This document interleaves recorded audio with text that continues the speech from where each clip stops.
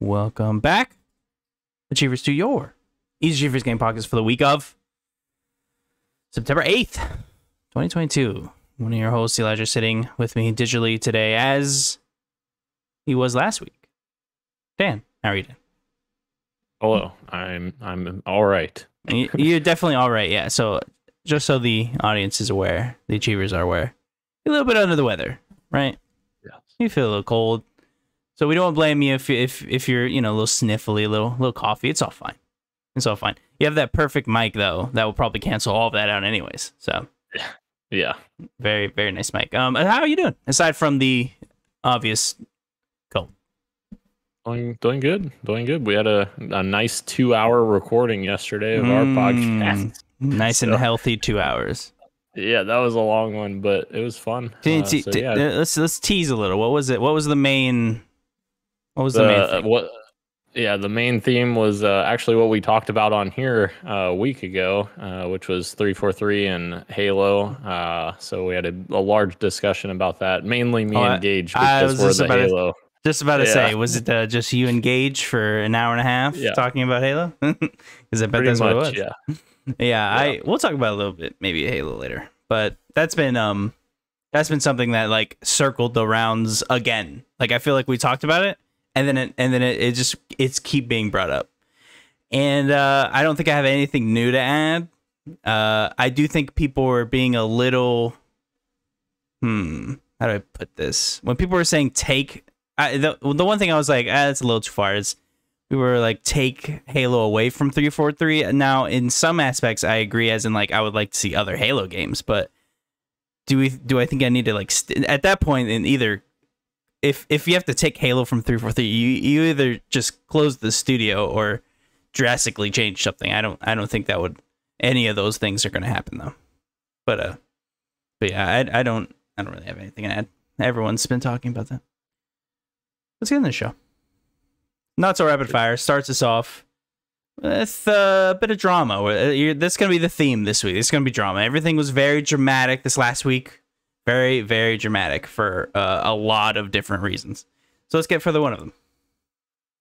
There seems to have been a miscommunication, or at least a huge miss, at a flex.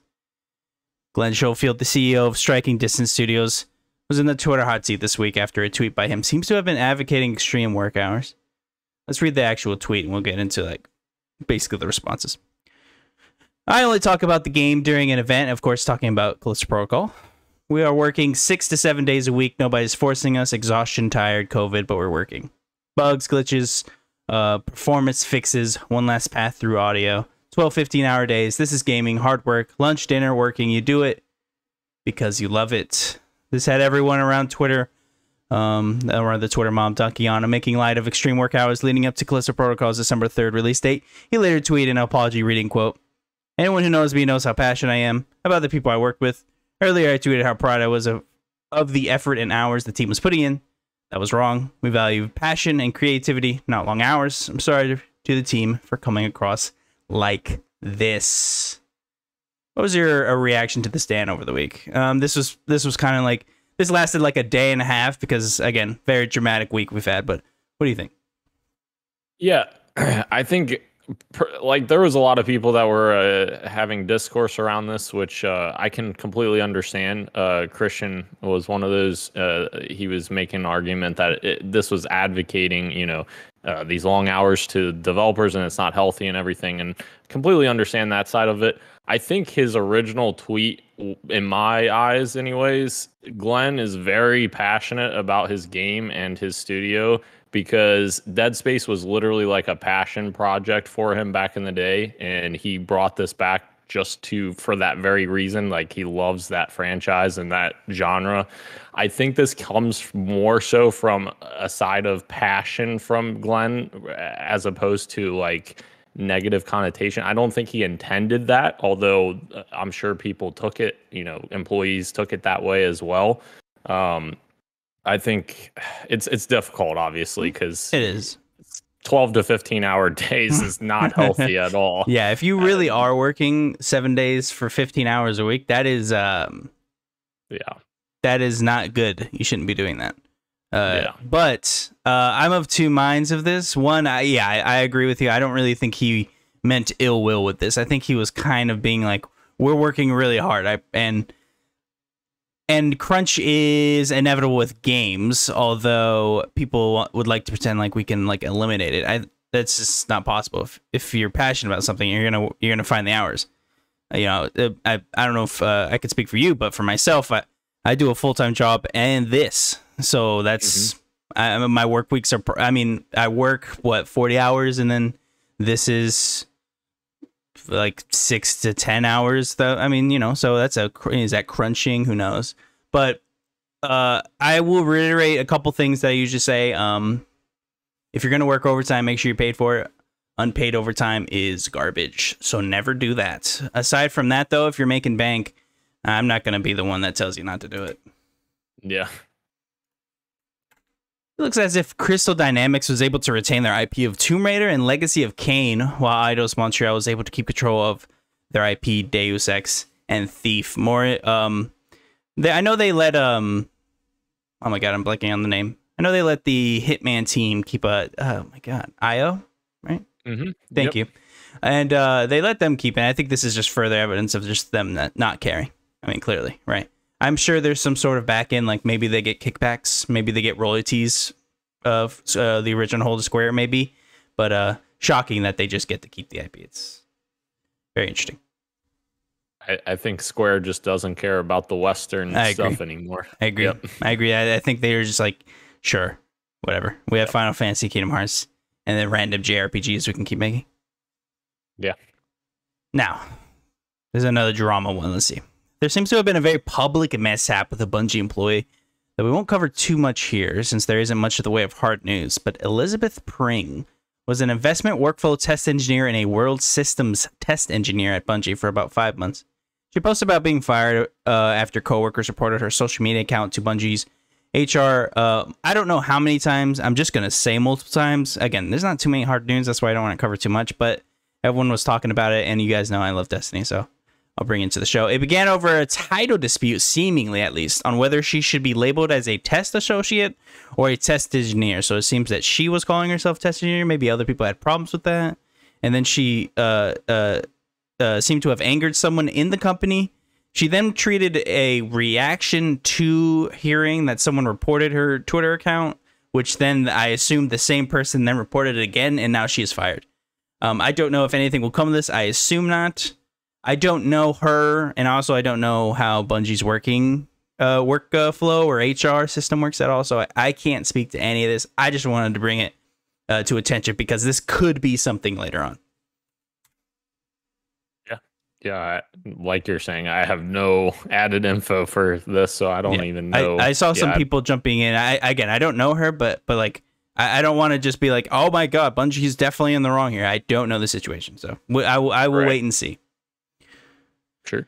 This is a quick one. There's a noise suppression being added to Xbox parties natively. All you have to do is use the options while you're in a party and turn it on. I was trying to find the date of this going live. I'm pretty sure it's live now, as long as you're up to date. So Yes. enjoy that. Okay, it is. Okay, perfect. Thank you. Mhm. Thank God, because uh, I have a couple friends that I play Destiny with. That there's lawnmowers in the back. There's I had someone vacuuming the other day. I was like, what is going on here? Wow. Oh, yeah. It's broken down. this next one is broken down by The Verge. The revamped PS5, which we'll be talking about later, is slowly being seen in the market. Has some small changes, like a smaller motherboard, different cooling, a different SSD enclosure. It also has joined Weight Watchers as it's dropped a whole pound since launching.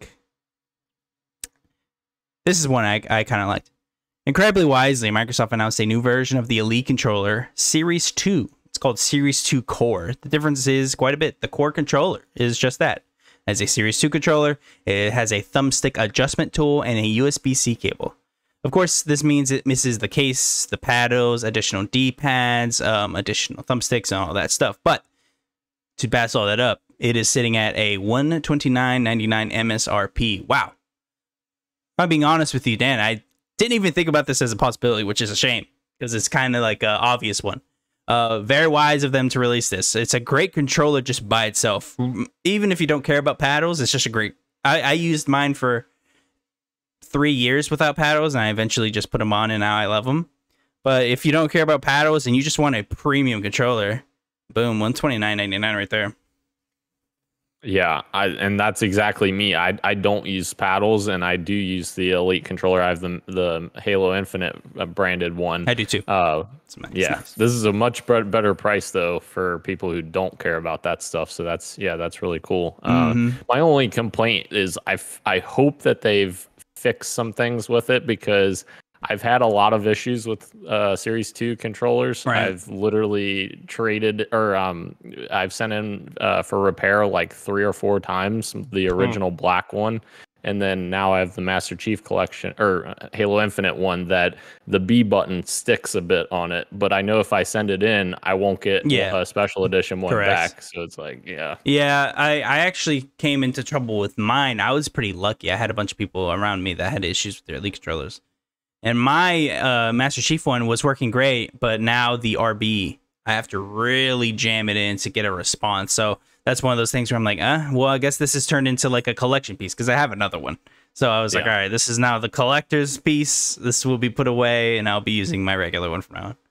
Um, and also uh, important to note, they did tease a design labs for the Elite controller. Uh, no, no idea of pricing or anything. I didn't see anything of that. They just kind of teased it with a quick image. Very cool. Depends on the colors. I might buy one of those because I have a problem. Gungrave, the third-person shooter by Red Entertainment that was released in 2002 in North America for the PS2, is getting a sequel. It's coming to Game Pass day one on November 22nd, 2022. This was a quick one. It looks pretty cool. Uh, and it was one of those day one on Game Passes, so I just wanted to do it rapid fire because I feel like this was uh, something to highlight. I will be looking forward to that because I've heard good things about Gungrave. All right. We like to begin the show with a single question that I pose to the guests, and that is, of course, what have you been playing? Dan, tell me, please.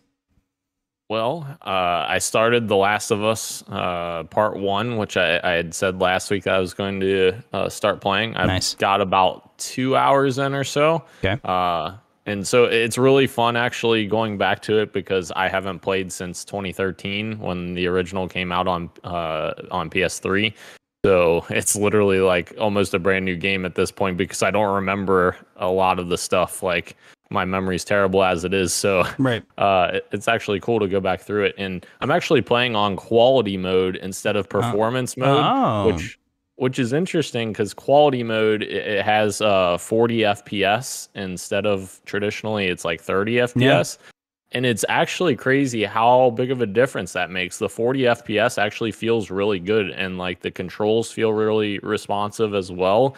Uh, it's almost like they're doing something like similar to what uh, Insomniac did for Ratchet and Clank, where the controls respond at 120 hertz or 60 hertz, but the picture is at 40 hertz. So it's really cool. It, it feels really good, and it looks very good as well. So good stuff. I echo everything you said. Yeah, I'm playing it um on uh, performance mode though, and it's it's great. I, I love the game. This it, it proves that the Naughty Dog is just unique in every way. Uh, there's no, even um all this time later, almost ten years. Uh, there's still not quite a game like this in terms of both quality and all around um, skill, like art direction and character direction and just and just everything environment of storytelling it's everything is just i mean it's nearly perfect in every way and i love it love naughty dog and i was very excited to play it as you i only played it like in like 2014 or something when i got my ps4 for the first time so it's been quite a minute and i played it once so this is also only my second playthrough and it's very fun playing it again especially with um uh much more of a critical eye than i did last time um, For that's sure. that's really all I've been playing though. I want to start playing um, blanking on the name now, but there's a horror game on Game Pass that I wanted to play that uh, that everyone's raving about right now. So I'll be playing that over the week, and then more Destiny, obviously. Um, they just recently uh released a new mode called Eruption. That's very nice. It's kind of like kill streaks, where like the more kills you get, the more abilities you get. So like you can throw more grenades and get more supers, and it's so much fun. Stupid, stupid mode. It's so good. All right, let's get into rumor roundup for the week. Silent Hill, the 1999 survival horror game developed by Konami, has been everything but silent, especially this week. Countless pictures of the game have been leaked, as well as numerous rumors coming out about the game, adding more and more to this being a certainty. Possibly it will be shown at the Tokyo Game Show, but I did read on VGC that it is unlikely to be there, as something more smaller should be there. Uh, there are three images. Uh, I'm not a Silent Hill guy, but I mean they look good. That's really all I can say. Um, they look cool. I'll play this, but it's not one of the things I'm super excited for. I am excited for the people that are excited, but aside from that, I don't. I don't have anything to say about this. Yeah, agreed. I I don't have any experience with Silent Hill as a franchise, but yeah, it'd be cool to get a remake. Yep. All right, this is one that I just found like getting on, so I'm just gonna read from comic.com, and I don't know this specific leaker, so I would say take it with a grain of salt, but I'll read it just in case. According to a Call of Duty leaker, The Ghost of Hope, Call of Duty 2024 will be set in early to late 2000s that will cover Operation Enduring Freedom and the Iraq War. These two operations imply the game will directly pull from history and possibly address things like 9 11, desire to find and destroy Iraq WMDs, and much more. It's also worth noting that this is expected to be Treyarch's game, the team behind the Black Ops series, which will always be set, uh, which has always been set in the past or in the distant future would also be the first game to be outside of the Modern Warfare franchise. Would take place in a relatively modern time period. Um, first off, Dan, you know what? I'm gonna leave this off. I don't know if this is true or not. It doesn't seem like it is true. Uh, I doubt they have the um, for lack of a better word, balls to uh take on a such a recent story um, especially since we're still learning about things that were clearly lied about back then. But I would be fascinated to play this. I know this would uh, be a lot of people's, not very many people's bread butter, but I would love to play something like this. Uh, seemingly because I just love real history things like this. Although Call of Duty tends to bend the truth in some aspects, so but I would uh, I would like this, and they always do really good campaigns. So I would I would like this, but again, I don't think this is probably real. What do you think? Yeah, it's it's interesting. It definitely hits a lot closer to home with uh, with it being more recent uh, war that people obviously remember quite a quite yeah. a bit about. If they really uh, do 9/11, I mean that's that's something I remember. So like, oh, I can imagine like absolutely. a 20 something at that time playing a game like a few years later, uh, you know, I uh, I don't know. I don't think they um I don't think they would do it, but I could be wrong. Yeah, that's true. Uh, and they, I guess they haven't shied away from stuff in the past, but it's been a while. It's like been a long time Warfare. since no no Russian. And yeah, Modern Warfare. Too. I don't even think anyone's left. I, I off the top of my head. I, yeah, I don't think anyone's left. So it would have to be someone pretty new to to work there to make something like that. But that is a good point. Uh, you know, no Russian was. I, I remember that in the news. I remember like yeah. my dad and my grandparents like have like watching the news and, and talking to me about it, like is this is like a thing you can do? And I was like, yeah, you can you can definitely do that. Um, uh, and I remember, I remember back then too. It was one of those things where like, well, you didn't have to shoot anybody, which was a funny thing. It was like we didn't make you shoot anyone. You you just were there, which was uh, interesting. But um, but yeah, yeah. Uh, any last points with this? Yeah, and uh, like that to go back to no Russian, like that made it so powerful when yeah. you went through that whole uh, mission, and then at the end you get the twist where yeah. you know yeah. it didn't matter at the end of the day. You just you know were complicit with that. Mm-hmm. Uh, so yeah, it's crazy. Um, we will have to see. I I would I would love to see that. I know a lot of people would explode in fury if that did happen, but we'll have to see. And remember, next year, in theory, we're not getting a Call of Duty, so this would be uh, two years from now. Uh, so Quick note as this year seems to have been a resurgence in the TMNT IP in video games, reported on by The Gamer. Nickelodeon, after mentioning the Cowabunga collection on their official website, states that there is a planned AAA project that will release in 2023. Nothing else was given about this. But apparently there will be a new Teenage Mutant Ninja Turtle games next year at some point. Very cool. No other details. And I'm not a big TMNT guy. I will like it from afar. Oh, wow. I I really liked the uh, Shredder's Revenge, which was a throwback to the 1989 version. Um, it was really great. Yep. Yep. Uh, so I'm, I'm interested to see what this is. If this is going to be like more, you know, modern type of gameplay, or if they're going to do something similar to that uh, to try to get at, get at people's nostalgia again. Yeah, I, I would see it unwise if they tried to do a beat 'em up again, just because they've Yeah. now released, I mean, ar- you know, arguably a very very incredible one in the form of uh, Shredder's Revenge. I would assume they're gonna try and maybe do a linear type game just to see their chops. They did say triple A, and of course, coming from directly them, that could literally mean anything. But Hmm. we'll have to see. I would love a Batman Arkham Asylum, you know, size TMNT. Not too big. I don't need a giant world. Just just small enough to like move around and jump around. There was that rumor a while back that Rocksteady was working on that. Of Yeah. course, they're working on Suicide Squad, but maybe someone else is doing it instead. Yeah, I remember those. Uh, that was a wild time where people were just like, "It's uh, TMNT. No, it's Suicide Squad. No, it's not." Su-. That was canceled, and then it turned out to be Suicide Squad. Was Yeah. definitely a twist I wasn't expecting. Once upon a time, Retro Studios was making a Sheik spin-off game. Of course, Sheik um, from Ocarina of Legend of Zelda: Ocarina of Time. IGN reports from Did You Know Gaming a number of details about the game codename either Project X or Sheik. Don't get too excited, as X re- uh, uh, retro programmer Paul Tozour had said this on the project. "Quote: I see people, you know, commenting on that concept art on the internet and being like, "Oh my god, Retro was working on a Zelda game. That would have been so awesome." And like, I understand that feeling. But what they have to understand is it was not actually a Zelda game, and at no point was it really anything like Zelda. It was an experiment gone wrong that happened to be set in the Zelda universe. End quote.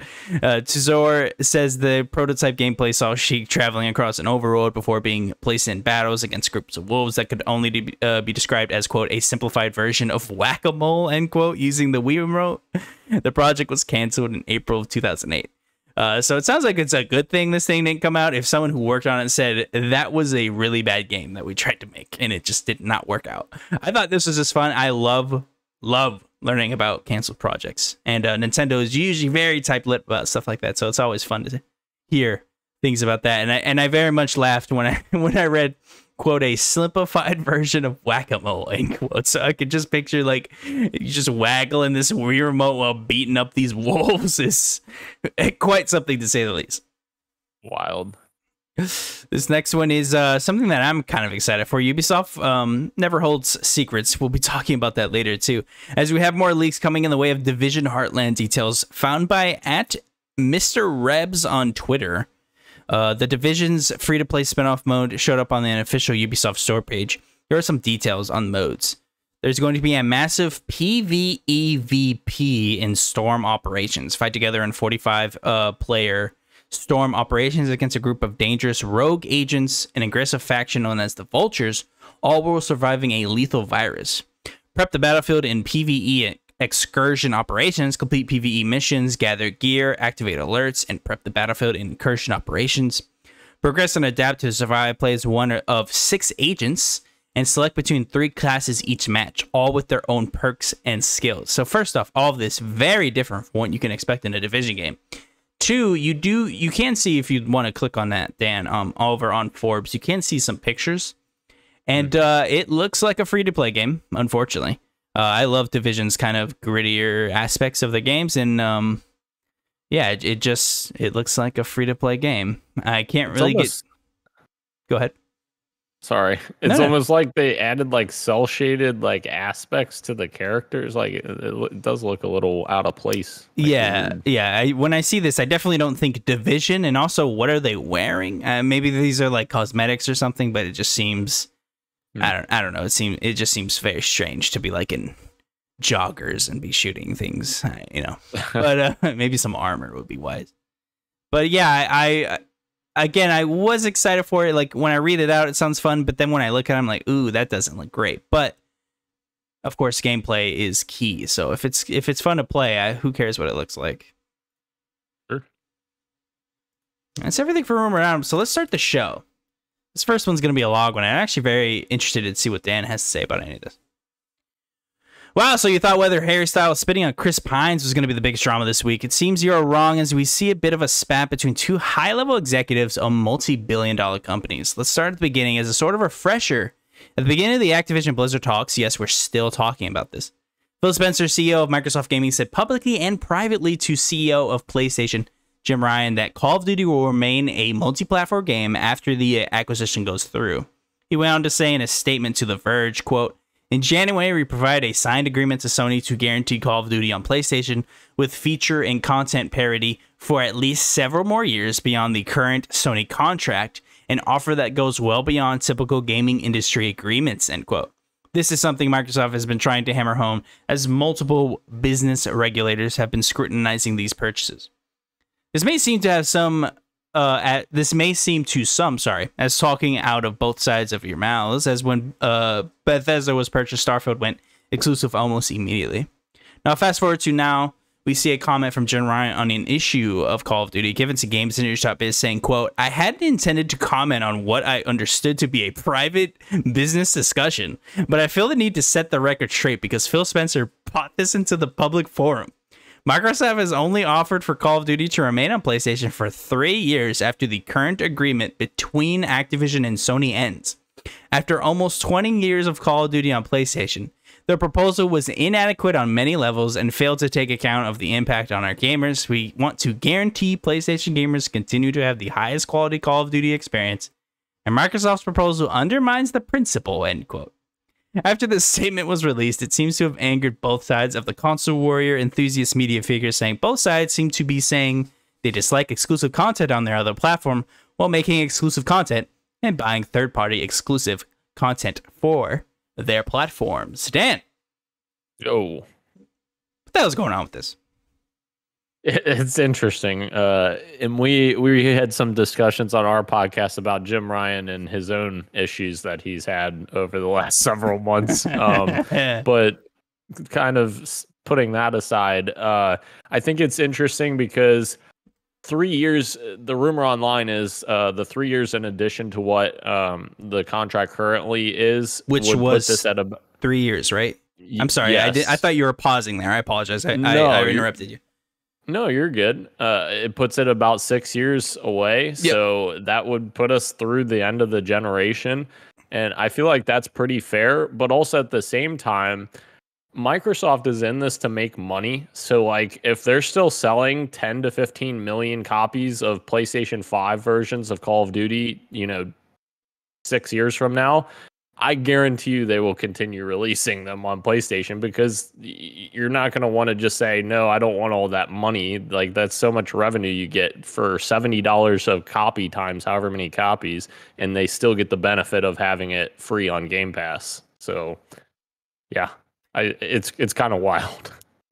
I'm shocked that PR let this out be honest with you. Mm. Um, maybe yeah. this is a direct shot against the bow uh, against the acquisition purchase in general.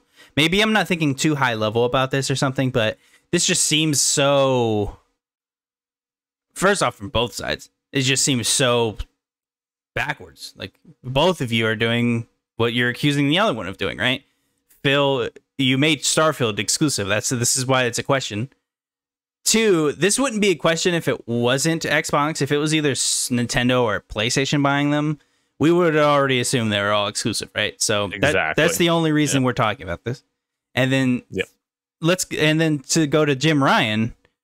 What do you what do you mean? Like, why are you even uh, talking about this on? Like, I guess he did bring it into public forum, but like, did you really have to make it so dire? Like, it's it's Call of Duty but like I understand it is a big portion of your yearly. I mean, it's it's something that you can bet on, right? You know you're getting your 30% cut when Call of Duty comes out.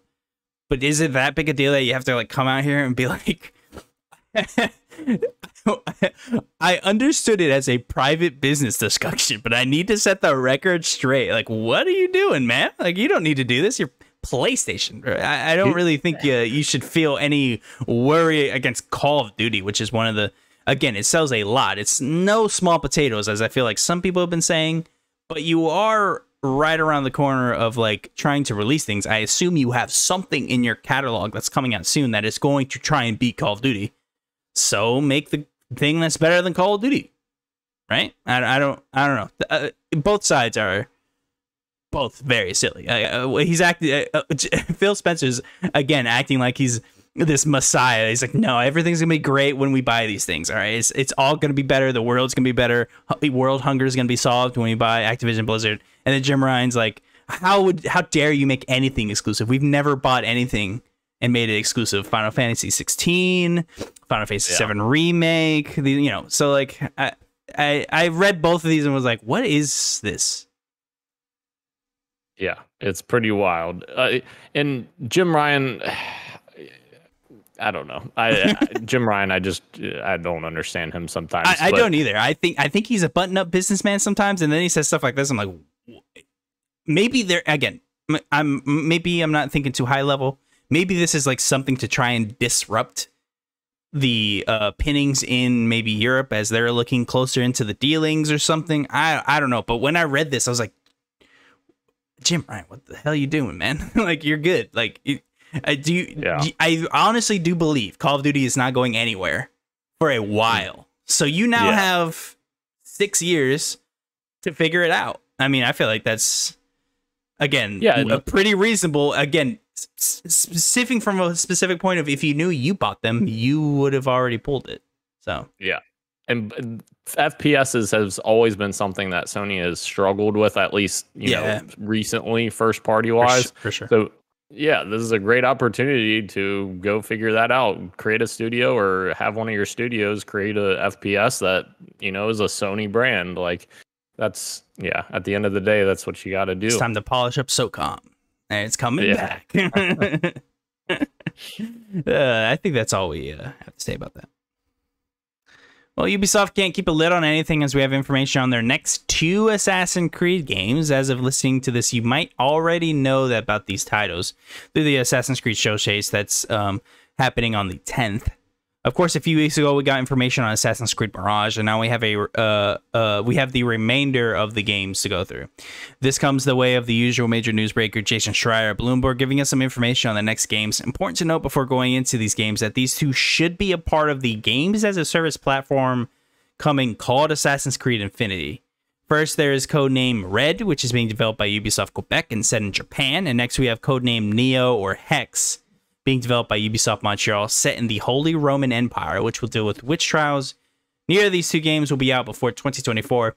And of course, Mirage was internally delayed to early next year. Again, as of uh, recording, of course, this is the 8th. We won't know. This will be debuting the 9th. So if you're listening day of, you still have a day. If you were listening past the 10th, maybe all of this has been confirmed. Who knows?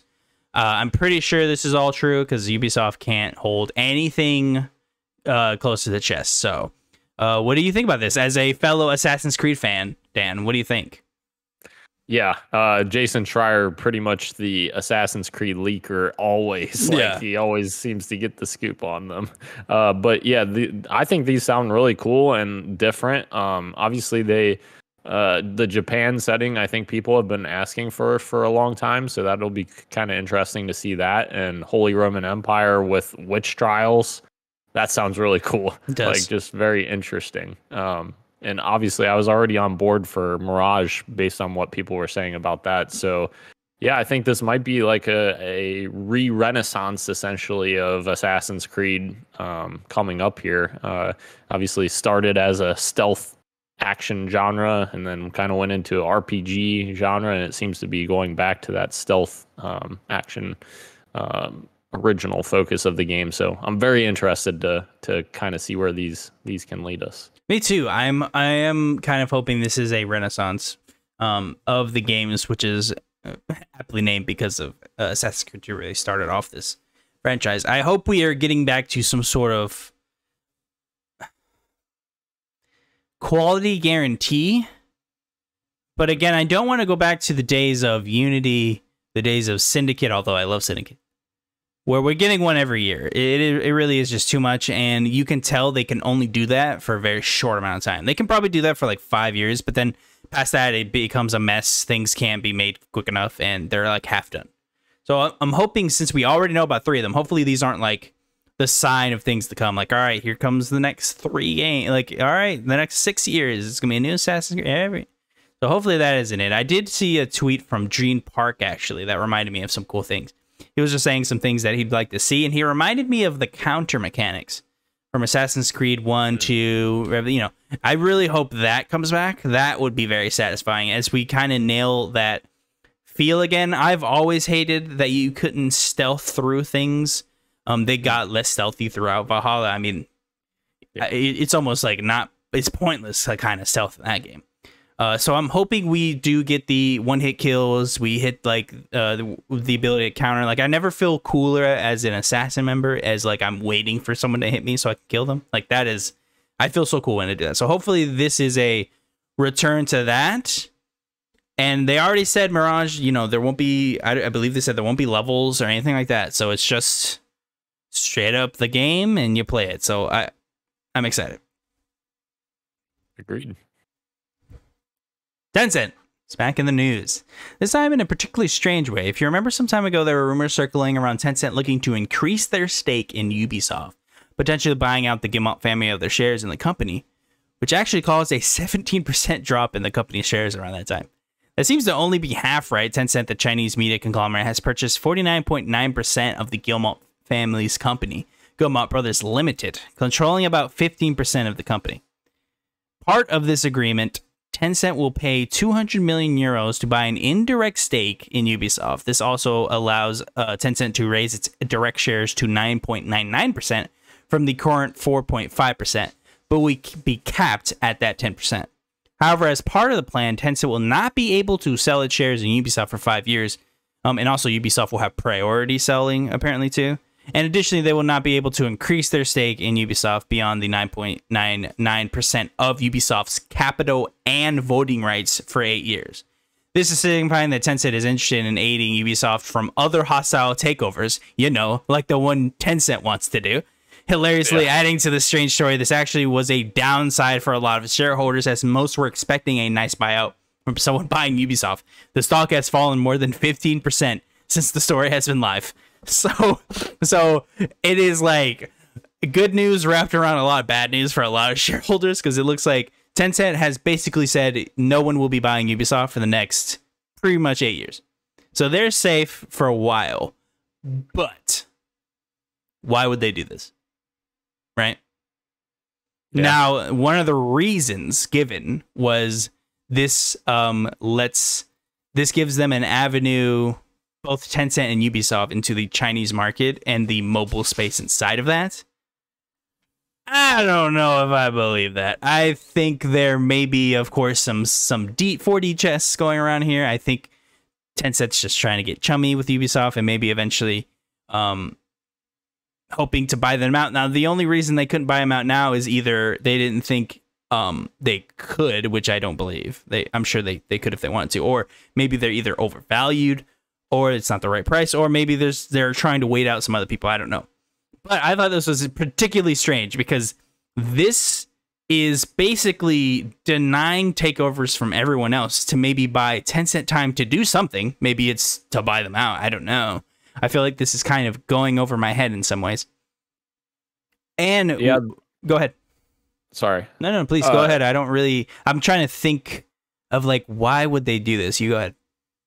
Yeah, I I think I think you may be spot on that Tencent's just trying to get their feet wet here with Ubisoft uh, before doing like a complete takeover, maybe in the next you know ten years or something, uh, because it was a while back. I can't remember what year exactly, but Vivendi was trying yeah. to take control of Ubisoft. 2018, I think. Is that is that it? I believe yeah, so. And actually, it, Tencent actually helped Ubisoft back then. I believe they bought a five percent stake in the company and denied them yeah. Vivendi the sale, which is like another like yeah. were you did you like eliminate competition there? Like were you buying a pie so you could get it later? Yeah, and yeah, the G- Guillemot family back then was very adamant that they didn't want to have yeah. a hostile takeover, so they were trying everything they could to make sure that didn't happen. Uh, so they were successful then, but yeah, it is interesting um, now with uh, Tencent going after you know their company that owns Ubisoft. Uh, yeah, I think Weird. it's eventually a, Weird. yeah they own for them. They own like I want to say. Oh my god, I'm blanking. Uh, yeah, they uh, they own. They're gonna raise probably around that 10% mark in shares in Ubisoft. but now Yeah. they own 49.9% of the company that owns the majority sta- Yeah. like it this is really weird. This reminds me of when when they had to get this the shares from um oh my god we covered it last week. What was it? Oh uh fromsoft. So they Oh, bought yeah. shares from fromsoft but they also bought shares in kawakami. So they now they like have double they they have like ownership of partly of the owner and the develop like it, it gets so strange when we're talking about this. So i think it's just more evidence that Tencent is just doesn't care and will just b- aggressively just spend money to to get like what whatever future they want whether it be Yeah. some sort of di- diversification in medium or uh slowly cut pieces of the pie where they're trying to like segment themselves in this kind of post giant acquisition era that we find ourselves in the game industry. I don't know, but this really did stump me. I I can't think of a particularly great reason for this other than maybe they're buying time. I don't know. Yeah. Splitgate. I love talking about this game. Splitgate, the highly popular arena shooter akin to the OG Halo days of multiplayer, made a big announcement pertaining to the continuation of the game's life. I found this very um uh nice. I, I liked that they kind of announced this. Let's get into what the announcement is. So uh quote to our Splitgate fans, we could not be here without your support. We pride ourselves on trying to be as community focused as possible. We strive to improve our game and build a better future for Splitgate because of the enthusiasm of our fans. Thank you. Splitgate achieved a level of success that we could not have anticipated that and that few indie games are fortunate to reach. Oh, sorry. Um, that initial success brought an opportunity to turn what started as a college dorm dream project into a AAA game that could stand toe to toe with shooters from the biggest publishers in the industry. Uh, I'm gonna skip down a few. We are in a uh, in a way uh, bailing water while also trying to keep everyone who bought a ticket to board our ship happy, while also trying to turn our boat into a rocket ship after careful consideration and much deliberation.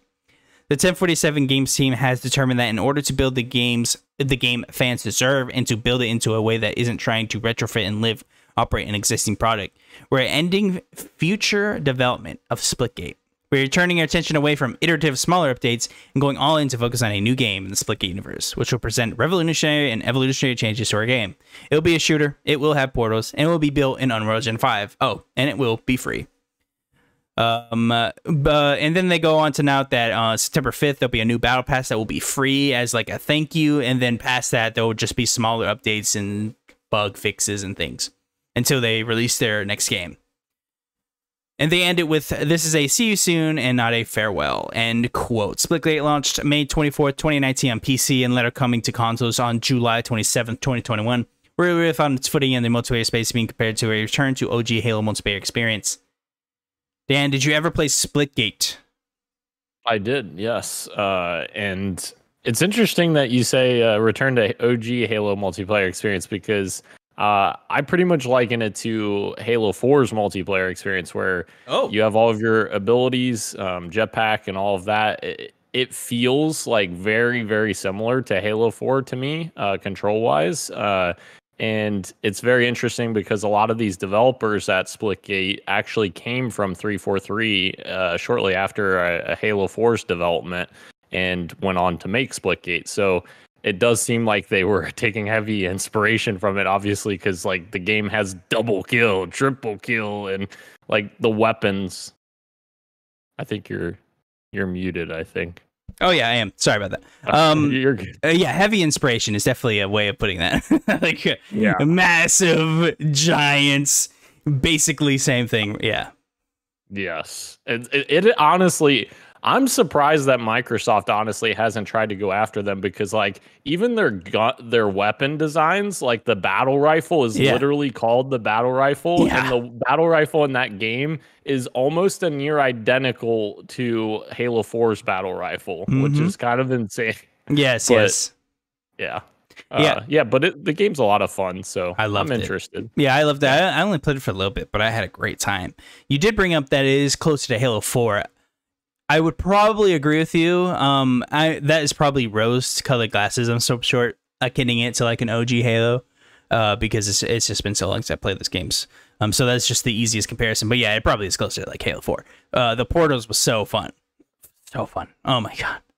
Who knew like just adding a portal in a game would just Im- immediately make it 10 times more fun. I would love like sitting somewhere and like putting a portal next to me and then putting it like down a hallway and then staring through the portal and shit. I mean, come on. Like that that that was dumb fun.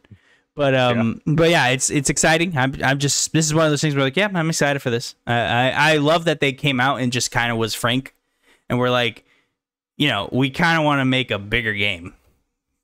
Yeah. So they they just, you know they just said crazy? it, which was nice. You know, it's crazy. What?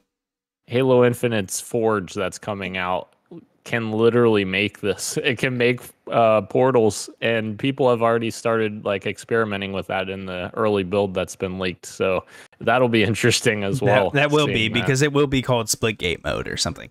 I will say, yeah. um, I, have seen a lot of crazy stuff from Forge, like online. That is not one of them. I've seen crazy ones where like guns can shoot vehicles and rant like crazy yeah. stuff. Like I've seen toy. Someone made Toy Story. I was like, what? Like, yeah, they like there's some crazy stuff, and it's that makes it even more shame that they had to delay it. So I can't wait for Forge to come. We see a large figure in the PlayStation engineering side retire. Masu Masayos. Oh my god. I had this like translated prior to this to try and nail it. I already forgot it. It was Masayosu Ito. Behind a lot of engineering of the PS4 Pro, PSVR, and PS5 is retiring October 1st. Ito originally came to work for Sony before moving to the PlayStation Vision in 2008 to lead hardware engineering. According to The Verge, the majority of the engineering was still will still be helmed by Vice President Hideki Nishishino, who reports to Jim Ryan, and Lin Tao will be taking over Ito's role as Deputy President and Representative Director of Sony's Japan operations. Now let's do some fun speculation. Undoubtedly, Sony is close to finalizing a PS5 Pro design, meaning that may have been the last project Ito has worked on, and to get even more speculative, that there may be the very, very beginnings of the next generation in the PlayStation family of consoles, the PS6, as these talks generally take up at least five years of refining. So this was just a cool thing to that I saw. It is interestingly timed as I'm almost positive they have a finalized PS5 Pro design. They, I don't know. I highly doubt they have some like in production or anything, but they probably have some lasting designs that they're almost done finalizing. I'm assuming that was his last project, and once they have that like fully done, they'll be probably moving on to some sort of PS5 Slim and PS6 uh, design. What would what say you? Yeah, I I still think it's fascinating to to speculate on when the PS5 Pro is going to come out because obviously PS4 Pro came out three years into yep. the de- development of PS4, and uh, honestly, I'd be surprised if that happens this gen because of the shortages. Like, you, it's still very hard to get PS5s right now, yep. and you know, three years would be a year, about a year from now. Uh, I, I don't know that they're going to be caught up by then to be able to, you know, say, hey, here's a new SKU. Uh, so it'll be interesting to see like when the Pro hits and like when the uh, Pro version of Microsoft's console comes as well. Um, yeah, I I would imagine if we have to question one of these um, companies being able to make a new system or not, Sony would be the one that would have to question like, are you able to like throw around the money to be able to really engineer one? I think the answer is yes because you know Microsoft can. So if they release Series, let's just call it Series Y. If they release something called Series Y, that forces PlayStation to make one. They can't just let them uh, release a whole brand new console with all the bells and whistles. It's all fancy for like what? Let's say, oh my god, this even sounds crazy. I don't think this would happen, but like let's say it's like 600 bucks and the Series X might get like a slight price reduction to like 400 bucks and then the Series S is still like the same 299.99. That if that does happen, they straight up just can't. They have to like have something to compete it. So I think if if that situation does amass, they probably have to bite the bullet and be like, we're only going to be able to make like 5 million, maybe less, but we'll have it on the market. Yeah. For sure. Fun to speculate. Yeah. Firewall Ultra. Sticking with PlayStation, Firewall Ultra has been announced. The sequel to 2018's hit PSVR game Firewall Zero Hour was announced via the PlayStation blog. It will, of course, be launching on the PSVR 2. They gave some details on what to expect from the game. This is via the blog. Quote, Set five years after the original game, the contractors and locations you've grown to love have evolved and moved into the next generation. Since PSVR 2 offers a much higher level of visual fidelity with 4K HDR, we've completely remade all character models. The maps have also seen a complete overhaul with new areas and new textures. There will also be new new locations and contractors, but it wouldn't be a firewall game without the weaponry equipment, which will also feature a much deeper level of customization. We've been listening to our community over the past four years, and we're proud to announce that you'll be playing Firewall Ultra on dedicated servers.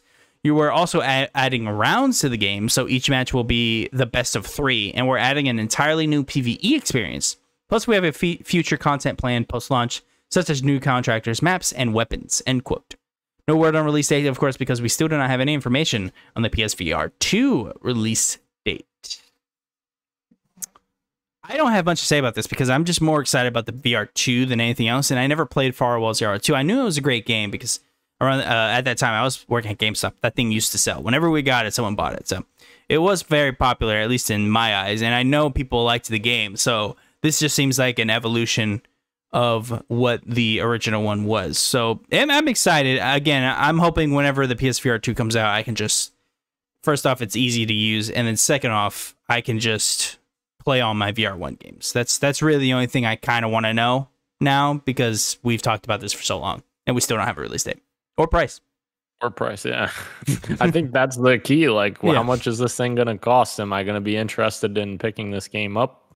I don't know. I'm assuming 500 with like a game or something. And then maybe they can get away with 400 although they did just raise the price of all their PS5 so maybe they're like eh we're Yeah. we're not gonna we're we're making money off this thing. We're not trying to sell this thing at no loss. Xbox is looking to experiment with the home design layout of their systems as laid out on the Xbox Wire. This is very early, so only a random set of alpha skip ahead members, so like the earliest you can possibly be in their alpha program, will see any changes for now. Some things to look out for from the Xbox Wire goes, quote, Key updates in the first round of preview updates. The new Jump Back In row gives you quick access to your most recently played games and apps. Very good idea. Easily access important system apps like Settings, Store, Search, and My Games and Apps with their own dedicated tiles on Xbox Home. Consistent design and visual identifiers with updated layouts to keep the experience familiar. When you scroll down, you'll see curated categories and recommendations tailored to your gaming preferences.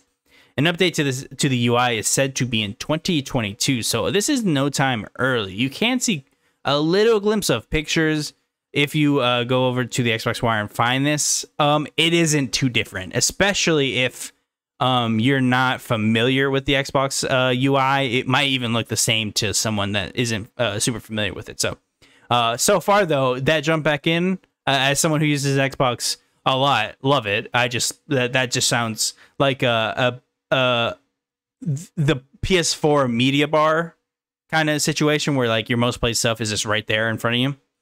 Uh, I I'm I'm digging it. The first picture looks nice. Uh, settings having a dedicated thing is it should have been there. I don't know why that's just not coming. Thank God that I could just go there instead of hitting the Xbox guide, going uh, you know finding it and like it was such a bad idea that that is an app on the Xbox and not in just an internal thing I can just click. But aside from that, I'm loving all this. Yeah, and my games and apps that you click a lot because like that's your where all your stuff is home to. Uh, it's great to have that uh, dedicated there. Mhm. The one of the cool features with this update as well that I thought was cool was um, they have new uh, default install location uh, features. So you can tell it that you want, you know, for instance, backwards compatible games like Xbox One, 360, and original Xbox games to default to uh, external hard drive as opposed to using your SSD storage because Huh. obviously you don't need SSD storage for those older games. So that's a kind of a nice quality of life feature as well. Okay, okay, okay. Yeah, so I actually missed that. That's actually pretty cool. Um Yes. I would love yeah, I would love all that. I hmm. Yeah, I don't have anything to add. I, I hope this was quicker. I've been wanting a new UI. I mean, really since the Series X launched. When it, it, it was cool. It did. It, it, it was cool to have the Series X, but it did feel like a little less. Uh, the UI, you know, everything kind of feels the same at first until you start playing games. So I've been wanting this for a while, and uh, hopefully we'll, we'll be in this soon. Sure. this was a something I read, and I was like, okay. I, I was following it, and I'm like, I need to talk to Dan about this. In a press release for Battlefield, it was revealed that Ridgeline Games, a studio created last October under EA led uh, under EA, sorry, led by Halo co-creator Marcus Lehto, will be debuting with quote a narrative campaign in the Battlefield universe end quote. The Washington-based studio will be collaborating with Dice and Ripple Effect on the Battlefield franchise. This announcement comes behind a sort of restructure of the franchise, as back in December, it was announced by EA that they want a quote connected Battlefield universe end quote, whatever that means which saw Dice's former general manager Oskar uh, Gabrielson to leave EA, leave in quotes. While Vince Zampella took over the position of overseeing the franchise, the golden child of EA, I'm sure. Battlefield 2042 launched in 2021 to little fanfare as it's seen as mostly unfinished and uninspiring, making another failing of the Battlefield franchise.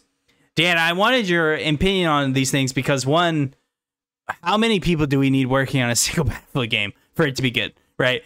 two, what is going on with Dice that they can't make these things happen? They they they're usually given pretty um ample opportunity to make Battlefield work, and for me at least, the last three Battlefields have been complete misses uh, in terms of both quality of campaigns. Uh, there are certain aspects I did like about um Battlefield um fives, but aside from a few, I, I didn't I didn't find it very interesting, and then uh, I've not enjoyed a multiplayer experience from Battlefield since Bad Company 2. That is the last time I've oh, even wow. had it. Yeah, that is the last time I've had a very like I sit down, I've played it for weeks. I enjoyed my time. I didn't just play a couple days like throughout a weekend. I you know, it, I feel like every time I pick up a Battlefield, it just like it just feels off, especially this latest one where I, I was playing it. I was like, this doesn't even feel finished. Like, I feel like it's just kind of like they made the map, they made your character, and they gave you a couple guns, and there there's the multiplayer experience. Like we don't really have fleshed out modes.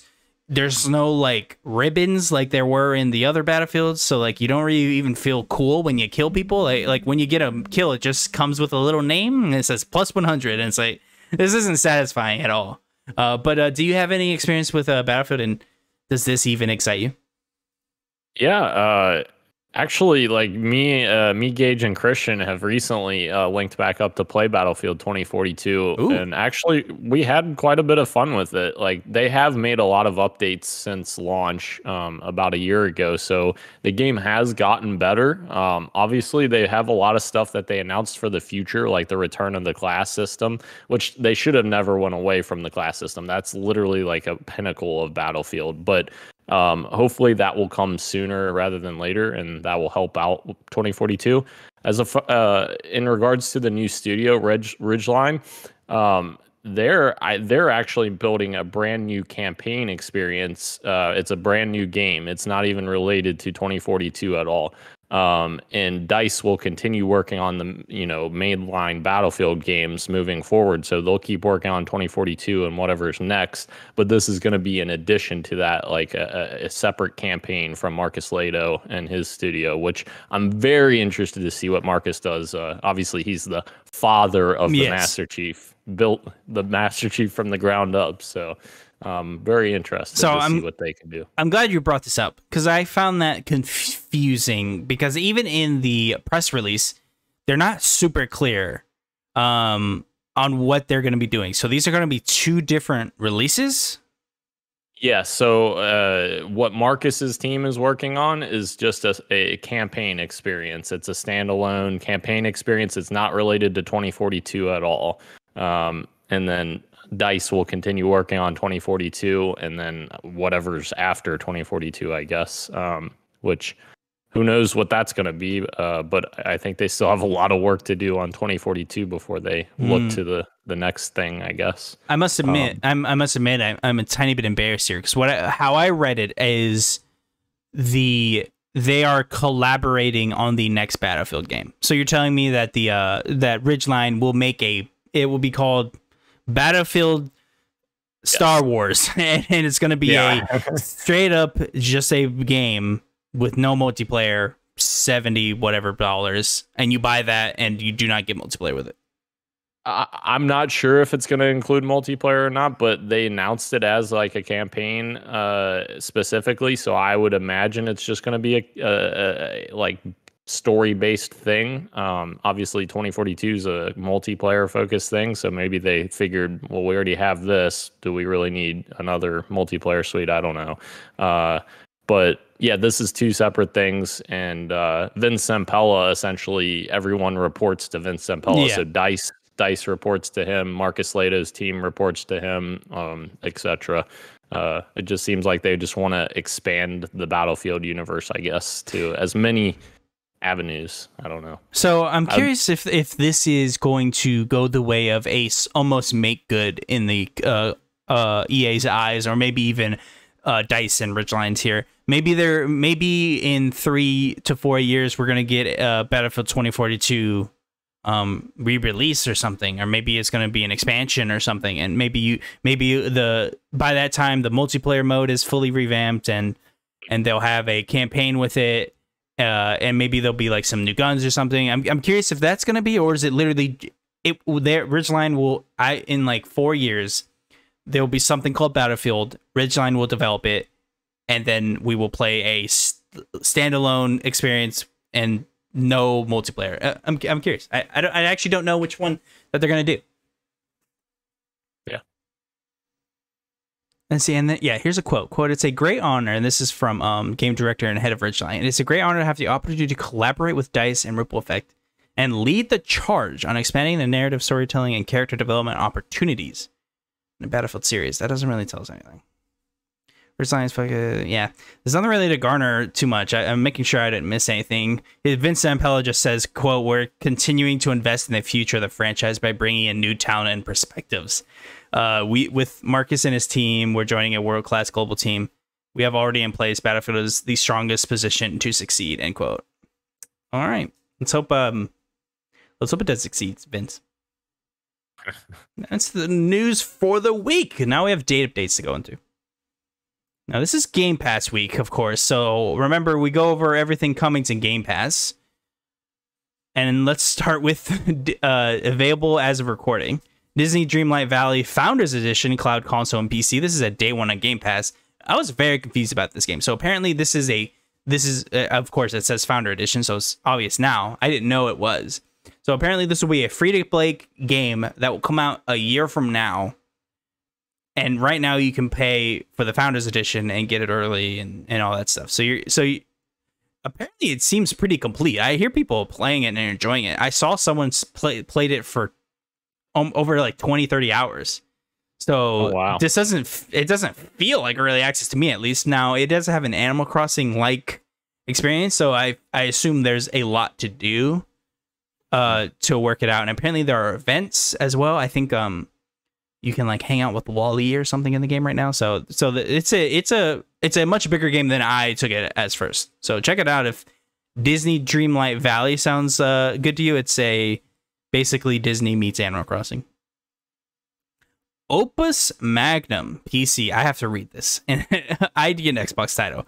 An open-ended puzzle game from Zachtronics, the creators of Shenzhen I/O, master the intrinsic physical machinery of the transmutation engine, the, al- the alchemical engineer's most advanced tool, and use it to create vital remedies, precious gemstones, deadly weapons, and more.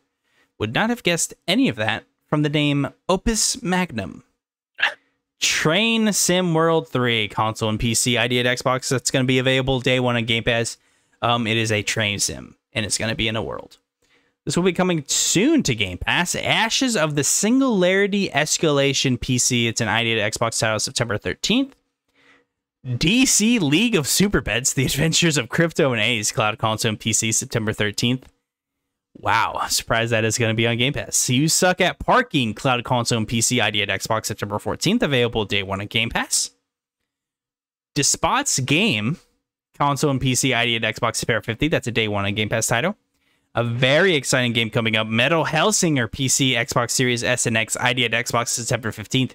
Available day one on Game Pass. You would have heard me and Alex, uh, the former co host, uh, expounding about this game. Metal Hellsinger is a rhythm FPS brimming with diabolical enemies, powerful weapons, and metal music. Strike terror into hearts of demons as you fight your way through eight hells on an infernal journey to achieve the purest of goals vengeance. Looks very cool. It's basically Doom um, set to uh, a rhythm game. It looks very fun. Uh, and we covered that last week. That should be everything. Let's go to what's leaving. It's a pretty big list, so get ready. So everything that I'm about to read is leaving. Now it's leaving September 15th. Remember, 20% off until it leaves. So you have to buy this before the 15th. I want to save 20% off the game. A Plague Tale Innocence, Cloud Console and PC. Origami 2, Cloud Console and PC. Bug Fables, The Everlasting Sapling, Cloud Console and PC. Craftopia, Cloud Console and PC. Final Fantasy 13, sadly, cloud, uh, sorry, console and PC is leaving. Flynn, Son of Crimson, Cloud Console and PC. I Am Fish, Cloud Console and PC. Lost Words, Beyond the Page, Cloud Console and PC. Mighty Goose, Cloud Console and PC. Skatebird, Cloud Console and PC. And The Artful Escape, Escape, Cloud Console and PC. Everything will be leaving September 15th. So if you want your 20% off, make sure to buy it. Another quick one Gundam Evolution will launch September 21st for PC, November 30th for PS5, Series S and X, PS4, and Xbox One. And then I saw Atomic Heart was delayed to early 2023. And that is the news for the week. Of course, we end the show with a question, just like I begin the show. And of course, what's queued up for the week? That's when I asked Dan, what does he have queued up? This could be a book, a comic book, a podcast, a manga if you're Ro, um, a TV show, a movie, really anything. What, Dan, do you have queued up? Yes, yes. Uh, so I think I said last week I was watching Midnight Mass, which yes. I finished that. Uh, it was great. Uh, I have actually now started um, Haunting on Hill House, which is the one before that, or two before that, one or the other, uh, by the same person who created uh, Midnight Mass. So I'm starting that. and I'm very excited to start that uh, and then maybe uh, play some some more of The Last of Us Part One, of course, and uh, the Yappening event in Halo Infinite right now. It's, what is what is? I, I see the Yappenings. I, I see the memes that the Halo account. Will, what is this? Yes, it's a it's their event that's going on the next two weeks. Um, it's a free ten tier um, event pass where you get a bunch of like cosmetic rewards um, through that. Um, it's kind of like a smaller uh, event, I guess. Um, like they normally have like the fracture yeah, The fracture, um, I remember, yeah. Yeah, so it's a smaller version of that, but uh, the game modes that are with that are actually really fun. Uh, they're all big team battle game modes, so they're all new ones. Um, there's uh, Fiesta, big team battle Fiesta, there is Big Team Battle, Fiesta, like points on the map. I forget what the name of the mode is. Uh, con- uh it's like Control, but not. It's yeah. like um, yeah, yeah, gets fine. Be, I, I God, it's killing me yeah. too because I liked that mode. I don't remember yeah. it though. It is fun, but uh, yeah, the yappening stuff is a lot of fun, and of course with Fiesta on BTB, it makes it fucking awesome. Oh, I'm sorry if I can't cuss on. Oh, you, how fucking dare you cuss? You can't cuss on here, man. okay, the fuck's wrong okay. with you? It's really awesome to have. Fiesta I tell my wife this BTB. fucking guy just cussed on my podcast. I can't believe this. Because Fiesta on BTB, you can literally spawn it. It spawns in like wasps and banshees and uh, scorpions and all kinds of stuff. It's okay, so so, so, it's it's it's as madness as it was in 4v4. Because I, I remember yeah. played I played Fiesta the first event they had, and I, I, had fun. It was just back then like it was just like nothing else to do, so like it was either that or, yeah. or not. Did they fix some? Um, are the challenges still the same way? That's the one biggest gripe I think I had with Halo is like you had your challenges, but only four were active at a time, and like sometimes they were not the challenges you needed. So like, so is that still a thing? So yeah, so the challenges are, are similar, but uh, they have made eh but they have made the challenges. I will say since I don't know when the last time you've played, but oh, the challenges launch basically. Okay, the challenges since then are way better. They're okay. way easier now because there was some really crazy challenges yes. back then that I was like, really, come on. I, I uh, remember what I think it was like get um it was like a specific weapon and it was like get like 20 kills. I'm like, what? Yeah. I gotta it's like a, beeline yeah. to the gun, take it, and oh god, it's awful. It's a lot better now. Okay. A lot better. Okay. And yeah, that's some that's coming from someone who completes all the challenges every week to get those rewards every I would, single week. I, I I was so. doing good for that first like four to six weeks. Yeah. I was like, I can't, I couldn't stop playing. I was like, this is so much fun. And then yeah. slowly just kind of burn out. I, I want to go back. I, I, I very much want to like play Infinite again because like these things I see, even though I, I have a million criticisms of Infinite, that solid that gameplay is so solid. So I really it's been a while. I mean, it's almost been um a year like to the day. Um, of course, I'm a couple months off, but right. I'm excited to to play it again because it is almost going to be it won't be completely different, but it'll be a little different. I'm excited, and I know um well that's not until like six months from now, but they're going to add that new gun, all these things too. Mm-hmm. So it's time to play. Yep. Um, what am I going to be doing? I will be doing a movie today. Don't know what the movie was. Oh, oh, I meant to open the show with this. I forgot. Damn. I am going to be on Large Popcorn. Um, oh. so check out Large Popcorn. Well, I had I uh ooh, I don't think I can I, I can't say the movie, but it is it was a very fun movie. I I enjoyed it. So check out Large Popcorn. That is Large Popcorn Pod on any podcast service. Check that out. That was a very very good time uh with ISO Christian. Loved that. That was yeah. so fun. I'm gonna have um, to grill Christian to ask him what that movie is. I could tell you off air. I don't know if I I, I don't no, think I'm i kidding. could say it. Um, no, I'm kidding. What else?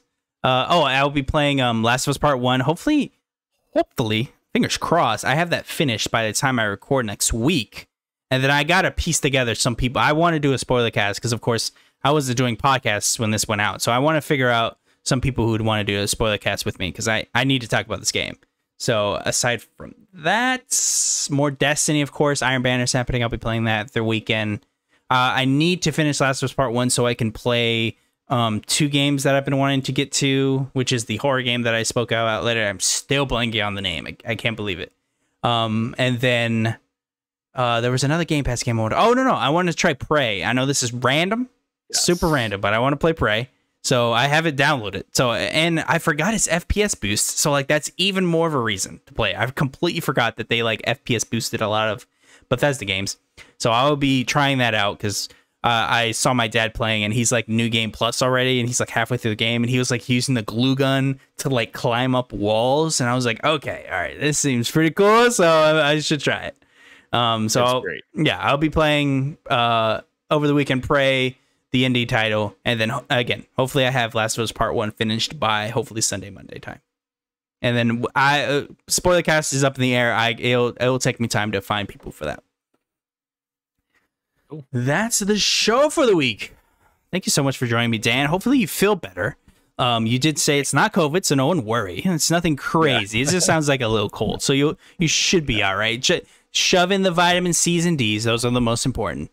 If you have yep. if you have quercetin in the hand, throw that in your body as well. Oh, look at that! He's already he's already on top of it. What do you need? Well, you don't need me. You don't need me. You don't need me. You got this. You're going, man. Uh, yeah. Aside from that, thank you so much, Cheevers, for listening to this week. So this was a short one, but there wasn't that much news. So this is a, a weaker week. But uh, remember, that should be it. Yeah. So remember, go Chief.